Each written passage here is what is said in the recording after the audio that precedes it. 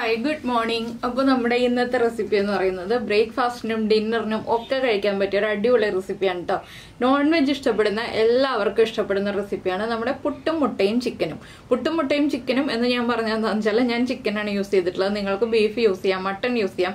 നിങ്ങളുടെ കയ്യിലുള്ള meet item എന്താണോ അത് ഉപയോഗിച്ചിട്ട് ചെയ്യാൻ പറ്റിയ റെസിപ്പിയാണ് അപ്പോൾ ബ്രേക്ക്ഫാസ്റ്റിനും കഴിക്കാം ഡിന്നറിനും കഴിക്കാം എന്ന് പറഞ്ഞാൽ എന്താണെന്ന് വെച്ചാൽ തലേ ദിവസത്തെ കറി ബാക്കി ഉണ്ടെങ്കിൽ ബ്രേക്ക്ഫാസ്റ്റിന് എടുക്കാം. രാവിലത്തെ കറി ബാക്കി ഉണ്ടെങ്കിൽ നമുക്ക് ഡിന്നറിന് എടുക്കാം. അപ്പോൾ നിങ്ങളുടെ സമയവും സൗകര്യവും അനുസരിച്ച് നിങ്ങൾക്ക് ഉണ്ടാക്കാൻ പറ്റിയ റെസിപ്പിയാണ്. അപ്പോൾ എല്ലാവരും ഉണ്ടാക്കി നോക്കാം കേട്ടോ അതിനുശേഷം അഭിപ്രായങ്ങളൊക്കെ കമന്റ് ചെയ്യണേ. നമുക്ക് എങ്ങനെയാണ് നമ്മുടെ പുട്ടും മുട്ടയും ചിക്കനും തയ്യാറാക്കുന്നത് നോക്കാം. നമുക്ക് നമ്മുടെ ഇൻഗ്രീഡിയൻസ് നോക്കാം. നമ്മളിപ്പോൾ രണ്ട് പീസ് പുട്ടെടുത്തിട്ടുണ്ട്. അതിലേക്കായിട്ട് അത്യാവശ്യം വലുപ്പമുള്ള ഒരു സോള എടുത്തിട്ടുണ്ട്. മൂന്ന് പച്ചമുളക്. അത് നമ്മുടെ എരിവനുസരിച്ച് ചേർക്കാം കേട്ടോ. മൂന്നോ നാലോ പച്ചമുളക് എടുക്കാം. നല്ല എരിവ് വേണമെങ്കിൽ നാല് പച്ചമുളക് എടുക്കാം. മീഡിയം എരിവ് മതി എന്നുണ്ടെങ്കിൽ മൂന്ന് പച്ചമുളക് എടുക്കാം. പിന്നെ എടുത്തിരിക്കുന്നത് രണ്ട് മുട്ടയാണ്. പിന്നെ എടുത്തിരിക്കുന്നത് ഞാനിപ്പോൾ ചിക്കൻ കറിയാണ് എടുത്തിട്ടുള്ളത്. ഗ്രേവി ഉള്ള കറി ഏതാണെങ്കിലും. ചിക്കൻ ആയാലും ബീഫ് ആയാലും മട്ടൺ ആയാലും കുറച്ച് ഗ്രേവി ഉള്ള കറി എടുക്കുക. അത് നമ്മൾ നേരത്തെ ഉണ്ടാക്കി വെച്ചിരിക്കുന്ന കറി ഏതാണെങ്കിലും കുഴപ്പമില്ല. കുറച്ച് ഗ്രേവി ഉള്ളതായിരിക്കണം എന്ന് മാത്രം. എന്താണെന്ന് വെച്ചാൽ നമുക്ക് ഗ്രേവിയോട് കൂടിയ കറി ഈ ഒരു റെസിപ്പി ഉണ്ടാക്കാൻ പറ്റുള്ളൂ. അപ്പോൾ നിങ്ങൾ തലേദിവസം ഉണ്ടാക്കി വെച്ചിരിക്കുന്ന കറി അല്ലെങ്കിൽ രാവിലെ ബ്രേക്ക്ഫാസ്റ്റിനോ ഡിൻ ഉച്ചയ്ക്ക് ലഞ്ചിനോ ഒക്കെ ഉണ്ടാക്കിയ കറി ഉപയോഗിച്ചിട്ട് നമുക്ക് ഈ ഒരു റെസിപ്പി ചെയ്യാം. ആദ്യം നമുക്ക് ഈ ഒരു സവോള ഒന്ന് കട്ട് ചെയ്തെടുക്കാം. അതുപോലെ തന്നെ നമ്മുടെ പച്ചമുളകും കട്ട് ചെയ്തെടുക്കാം. ഇതിലേക്ക് വെളുത്തുള്ളി ഇഞ്ചി ഒന്നും ചേർക്കേണ്ട ആവശ്യമില്ല കേട്ടോ. പിന്നെ വേണ്ടത് കുറച്ച് കറിവേപ്പിലയാണ്. പിന്നെ കുരുമുളക് പൊടി ഉണ്ടെന്നുണ്ടെങ്കിൽ കുരുമുളക് പൊടി ചേർക്കണമെങ്കിൽ കൂടുതൽ ടേസ്റ്റ് ആയിരിക്കും. അപ്പോൾ ഇത്രയും കാര്യങ്ങളാണ് നമുക്ക് വേണ്ടത്. അപ്പോൾ ആദ്യം ഞാൻ ഈ സവോളയും പച്ചമുളകൊക്കെ ഒന്ന് കട്ട് ചെയ്തെടുക്കട്ടെ. അതിന് ശേഷം നമുക്ക് നമ്മുടെ റെസിപ്പി ഉണ്ടാക്കാം.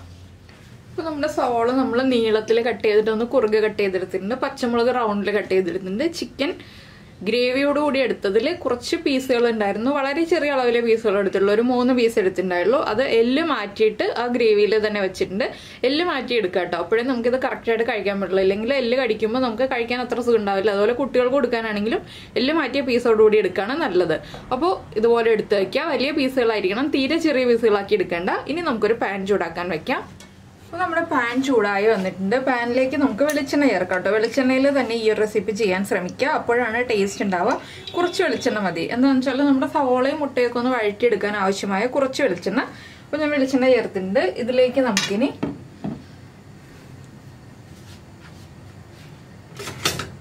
നമ്മുടെ വെളിച്ചെണ്ണ ചൂടാവുമ്പോൾ നമ്മൾ കട്ട് ചെയ്ത് വെച്ചിരിക്കുന്ന സവോള ചേർത്ത് കൊടുക്കാം. സവോളയുടെ കൂടെ തന്നെ പച്ചമുളകും അതുപോലെ തന്നെ കറിവേപ്പിലയും ചേർത്ത് കൊടുക്കാം. ഇതൊന്ന് വഴറ്റിയെടുക്കുക അപ്പോൾ നമ്മുടെ ചിക്കൻ കറിക്ക് ഉപ്പുണ്ട് പുട്ടിന് ഉപ്പുണ്ട്. അപ്പോൾ നിങ്ങൾ ഏത് കറിയാണ് എടുക്കുന്നതെങ്കിലും അതിന് ഉപ്പുണ്ടാവും. ആ ഉപ്പ് അനുസരിച്ച് വേണം നമ്മൾ പുട്ടിന്റെയും ഉപ്പ് കണക്കാക്കിയിട്ട് വേണം നമ്മൾ ഇതിലേക്ക് ഉപ്പ് ചേർത്ത് കൊടുക്കാൻ. അപ്പോൾ സവോളയിലേക്ക് സവോളയ്ക്കും മുട്ടയ്ക്കും ആവശ്യമായ ഉപ്പ് നമുക്ക് ചേർത്ത് കൊടുക്കാം.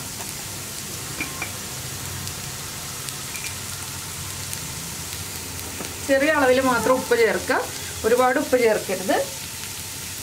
മുട്ടയ്ക്കും കൂടെ ആവശ്യമായ ഉപ്പ് ഞാനിപ്പോൾ ചേർത്ത് കൊടുക്കുകയാണ്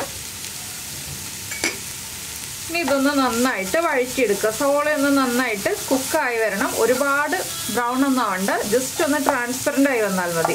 അതുവരെ ഒന്ന് ഇളക്കി കൊടുക്കുക. അപ്പോൾ നമ്മൾ മുട്ടയും കൂടി ഒന്ന് കുക്കായി വരാനുള്ള എണ്ണ ഇതിൽ ചേർത്തിട്ടുണ്ടാവണം. അതിനനുസരിച്ചാണ് ഞാൻ ആദ്യം വെളിച്ചെണ്ണ ചേർത്തിട്ടുള്ളത്. അപ്പോൾ സോളയൊന്ന് കുക്കായി ട്രാൻസ്പെറന്റ് ആയി വരട്ടെ. അതിനുശേഷം നമുക്ക് ബാക്കിയുള്ള കാര്യങ്ങളൊക്കെ ആഡ് ചെയ്യാം. അപ്പോൾ നമ്മുടെ സവോളയൊക്കെ ഒന്ന് ട്രാൻസ്പെറന്റ് ആയി വരുന്നുണ്ട്. നമുക്ക് ഇതിലേക്ക് കുറച്ച് പൊടികൾ ചേർക്കാനുണ്ട്. നമ്മുടെ ചിക്കൻ മസാലയുടെ അല്ലെങ്കിൽ ബീഫ് ആണെങ്കിൽ ബീഫ് മട്ടൺ ആണെങ്കിൽ മട്ടൺ അതിന്റെ മസാലയ്ക്ക് അനുസരിച്ച് വേണം നമ്മൾ ഇതിലേക്ക് മസാലകൾ ചേർക്കാൻ. ഞാനിപ്പോൾ ഒരു കാൽ ടീസ്പൂൺ മഞ്ഞൾപ്പൊടി ചേർത്തിട്ടുണ്ട്. പിന്നെ ചേർക്കുന്നത്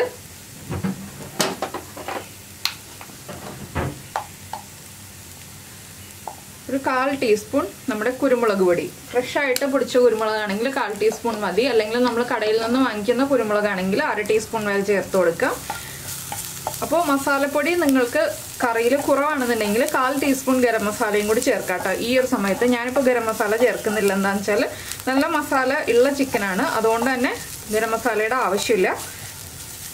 അപ്പോൾ മസാലപ്പൊടി കുറവുള്ള നമ്മൾ മസാല കുറവുള്ള ചിക്കൻ കറിയാണ് ഉണ്ടാക്കിയിരിക്കുന്നതെന്നുണ്ടെങ്കിൽ ഇപ്പോൾ ചിക്കൻ കുറുമയൊക്കെ ആണെങ്കിൽ നമ്മുടെ മസാല കുറവായിരിക്കുമല്ലോ. അപ്പോൾ ഒരു കാൽ ടീസ്പൂൺ ഗരം മസാലപ്പൊടിയും കൂടി ഈ ഒരു സവാളയിലേക്ക് ചേർത്ത് കൊടുക്കുക.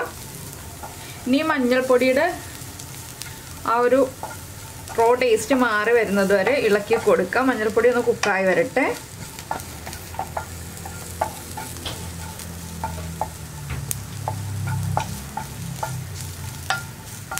അപ്പോൾ വെളിച്ചെണ്ണ കുറവാണെങ്കിൽ വെളിച്ചെണ്ണ ഒഴിച്ചു കൊടുക്കാൻ മറക്കരുത്.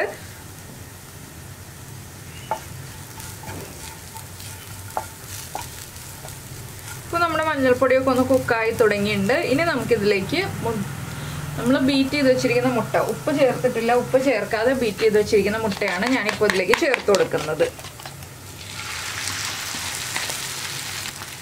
മുട്ടയൊന്ന് കുക്കായി വരുന്നത് വരെ നമുക്കൊന്ന് വെയിറ്റ് ചെയ്യാം. ചെറുതായിട്ടൊന്ന് കുക്കായി വരുമ്പോൾ നമുക്കൊന്ന് ഇളക്കി മിക്സ് ചെയ്തെടുക്കാം. എന്താണെന്ന് വെച്ചാൽ ഇപ്പോൾ തന്നെ മുട്ട ഇളക്കിയിട്ടുണ്ടെങ്കിൽ വല്ലാതെ പൊടിഞ്ഞു പോകും. നമുക്ക് ചെറിയ പീസുകൾ വേണം. അതുകൊണ്ടാണ് നമ്മൾ ഇപ്പോൾ തന്നെ ഇളക്കി കൊടുക്കാതിരിക്കുന്നത്.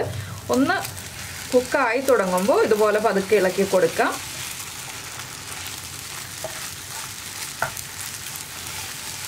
ഇതിന്റെ കൂടെ തന്നെ നമ്മൾ എടുത്തു വെച്ചിരിക്കുന്ന ചിക്കനും കൂടി ചേർത്ത് കൊടുക്കാം.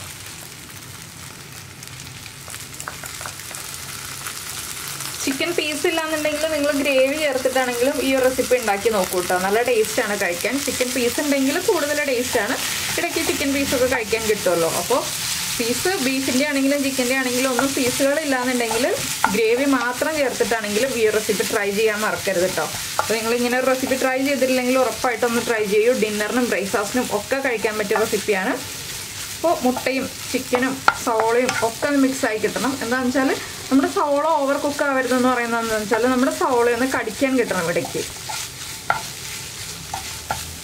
അപ്പോൾ എല്ലാം മിക്സ് ആയി വന്നിട്ടുണ്ട്. മുട്ടയൊക്കെ ഓവർ കുക്കായി പോവാതെ നമ്മൾ കുക്ക് ചെയ്തെടുത്തിട്ടുണ്ട് കറക്റ്റായിട്ട് ഇനി നമുക്കിതിലേക്ക് നമ്മുടെ പുട്ട് ഒന്ന് പൊടിച്ച് ചേർക്കാം.